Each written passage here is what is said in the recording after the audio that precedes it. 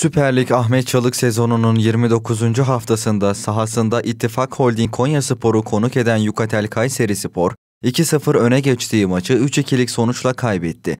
Karşılaşma sonrası açıklama yapan Yukatel Kayseri Spor Başkan Yardımcısı Onur Gözbaşı, iki haftadır kaybettiğimiz puanlardan üzgünüz. Skor üstünlüğünü yakalıyoruz, sonunu getiremiyoruz dedi. Güçlü takımlar karşısında skor üstünlüğünü ele geçirip bunu tutamamak gol pozisyonları da geliyor. Onları değerlendirememek ben şanssızlık olarak değerlendiriyorum. Fakat bunu mutlaka teknik eğitimimizde konuşup tekrar e, değerlendireceğiz. Devam edeceğiz. Hem kupada hem de ligde. Hedeflerimizi koyduk. Ne kadar ligde ne kadar yukarıda olursak e, bunu hedefledik. Futbolcular da buna inandı. Maçlara da güzel başlıyoruz. Kupada da devam ediyoruz. Şu aşamada daha fazla değerlendirme yapmak istemiyorum. Teknik heyetimizle görüşeceğiz.